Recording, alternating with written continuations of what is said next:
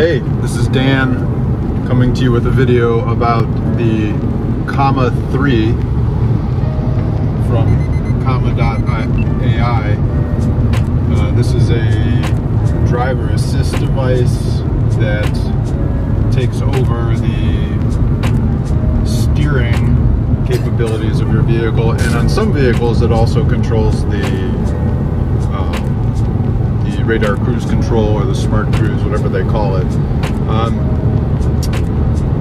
I've had this device for maybe two weeks now but it's only been working for about a week because the first there was an issue they sent me the wrong harness and uh, it took a while to figure out on both ends, mine and theirs, what was wrong with the harness. They sent a Hyundai 2 harness, which is what the website said would be compatible, but um, after looking at the schematics they sent me, the, the wiring harness is all the wiring looks correct, but it's something to do with this little piece right here. If you pull down the shrink wrap, you can see it's an OB, or it's a number one now or a number two, I can't remember. I'm, I'll tell you, I'm driving a 2021 Kia Forte GT. I bought this car brand new about a year ago. Um, I've already put 25,000 miles on it of me driving it. Uh, it's got the GT2 package. Um, and as far as I'm aware, I haven't seen. five minute slowdown in 0.25 miles. You are still on the best route. And as far as I'm aware, nobody's done a video yet on the Kia Forte GT or GT2, so I thought I would be the first, maybe the first, I don't know. But um, now that it's working, it's working great. We're actually taking a road trip today. We're driving up the coast from San Diego, or we're driving up north a couple hundred miles to the central coast. Um, and I thought I would make a video showing the capabilities of this. Uh, this vehicle is listed as their mid-tier on the comma site. It's in the silver group. I guess the gold group, everything works, meaning the the adaptive cruise and the steering. But in the silver group, only the steering con- the the comma controls the steering, but not the smart cruise. The the smart cruise is still relying on Kia's factory system, which works pretty well, I think.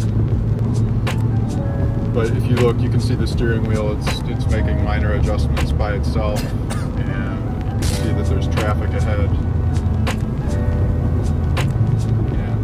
I'm not doing anything with the pedals down here. I'm not doing anything with my hands. I just um, I have my face forward, watching traffic the whole time. So I I've put maybe 300 miles on on open pilot in the last week since I got it just experimenting driving to work and back and I commute about 120 miles every day and the majority of my commute is on major freeways and it's been working fantastically well the one there's one thing that they list on the site that it they say it, that it'll slow the car down to zero and then start back up again like stop and go, but that's not true, and the stock system doesn't do that. So I think it's just a mistake on Comma's website. Uh, the steering works all the way down until the you're going to see now until the cruise kicks off.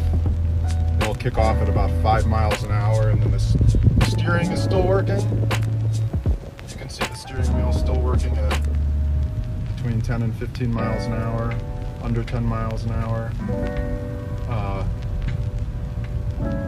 but when it kicks off every your manual below five miles an hour one thing to note is that the car's stock system the lane keep assist doesn't work until it hits 40 miles an hour but with with with the Comma 3 it now works all the way down to 5 miles an hour so that's a real big plus it's really nice um, I hope in the future that Comma is able to add integration for both the uh, visual uh, stop and go or visual adaptive cruise control.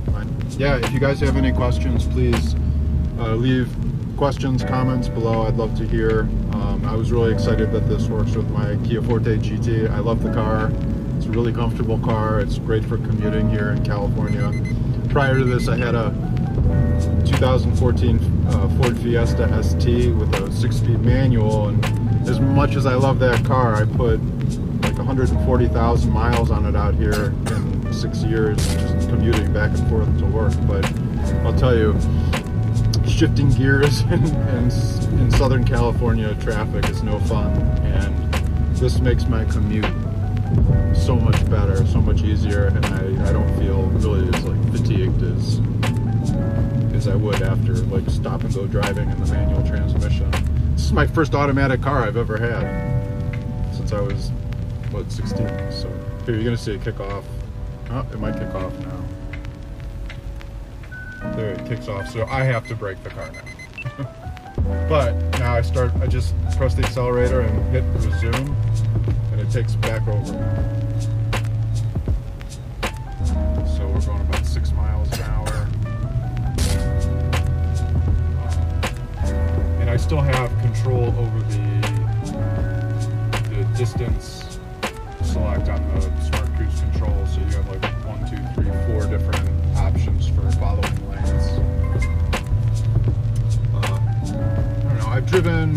driven I've driven Teslas. Um, I've driven the the Model Y quite a bit,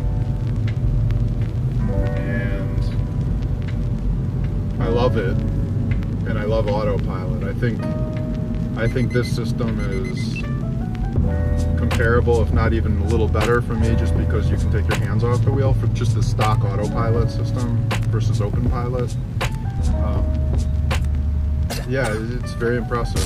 Uh, so I look forward to seeing how this goes because you can see here we have about 200 miles to drive yet. We've been driving only for about 30 minutes so far. All right. Well, I think I've yapped enough. So yeah, let me know what you think. Um, if you want to know anything about it, just ask and I'll try and make a new video. All right, cool. Thank you. Thanks for watching.